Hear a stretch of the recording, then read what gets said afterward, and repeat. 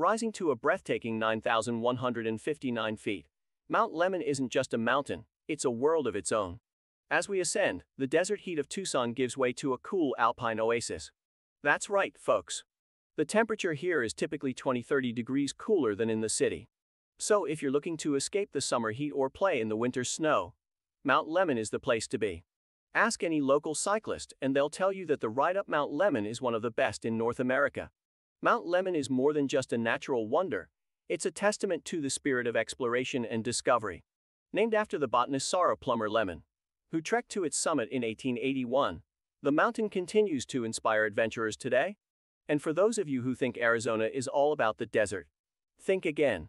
Mount Lemmon Ski Valley, the southernmost ski location in the continental United States, offers a winter wonderland experience that's sure to delight. As the day ends, the magic of Mount Lemmon truly comes alive.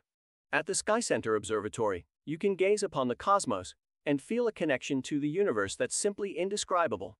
Whether you're a Tucson local who cherishes this gem or a traveler seeking new adventures, Mount Lemmon is a special place that captivates, inspires, and feels like home. Come and experience the magic of Mount Lemmon and create your own memories in this timeless Arizona treasure.